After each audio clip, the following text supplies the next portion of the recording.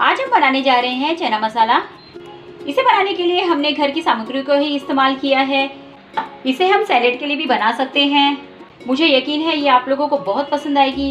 यदि आपको ये रेसिपी पसंद आई तो मेरे चैनल को सब्सक्राइब लाइक शेयर अथवा कमेंट्स कीजिए। तो चलो बनाते हैं चना मसाला। एक कटोरी भीगी हुई चने की दाल इसे मैंने सात से आठ घंटे पहले भिगोने के लिए रख दिया था।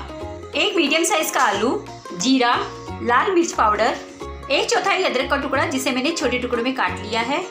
दो हरी मिर्च। किसी को कम किसी को ज़्यादा तीखा खाना पसंद होता है तो आप अपने हिसाब से मिर्चियाँ डाल सकते हैं।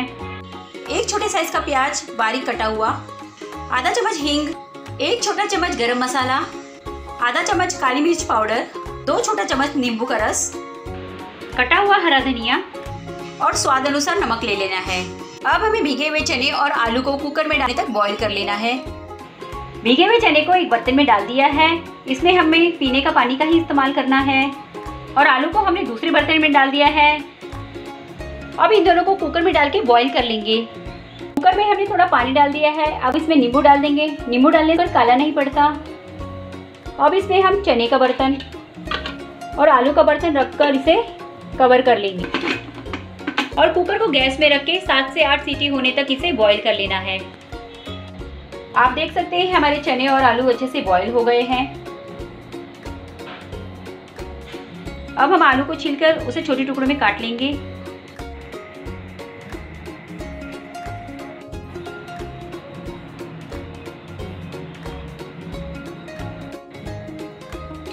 आलू हमारे छोटे टुकड़ों में कट के तैयार हो चुके हैं।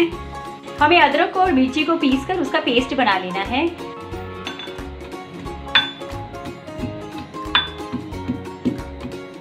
मिर्ची और अदरक पीस की हमारी तैयार हो चुकी है। हमने इसे दरदरा पीसा है, आप देख सकते हैं। एक बर्तन ले लेंगे, उसमें हम उबले हुए चने, कटा हुआ आलू, अदरक मिर्ची का पेस्ट, काली मिर्च पाउडर, गरम मसाला, बारीक कटा हुआ प्याज और आधा चम्मच लाल मिर्च पाउडर, स्वाद अनुसार नमक और नींबू का रस डालकर इसे अच्छे से मिला लेंगे। आप चाहे तो इसमें कटे हुए टमाटर भी डाल सकते हैं, पर मैंने इस्तेमाल नहीं किया है। सारी सामग्री इसमें अच्छे से मिक्स हो गई है। अब हमें इसमें तड़का दे देना है।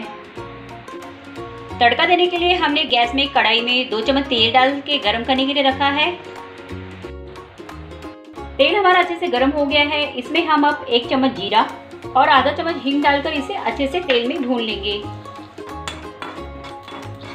जीरा और हींग हमारे अच्छे से भून गए हैं। अब हम इसे चने के मिश्रण में डाल देंगे।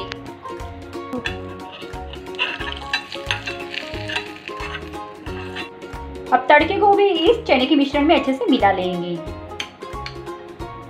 चना हमारे लिए बहुत ही हेल्दी होता है। इसे हम कभी भी बना सकते हैं। बारिश के मौसम में इसके खाने का कुछ और ही मज़ा होता है। तो इसे आप ज़रूर बनाइए। ये आपको बहुत पसंद आएगी। हमारा चना मसाला पूरी तरह से तैयार हो गया है। अब हम इसे धनिया से गार्निश कर लेंगे। हमने इसे सर्विंग प्लेट में निकाल लिया है। अब हम इसे पूरी तरह से खाने के लिए तैयार है। ये सभी को बहुत पसंद आएगी। इसे आप ज़रूर एक बार बनाइए। और अंत तक वीडियो देखने के लिए धन्यवाद।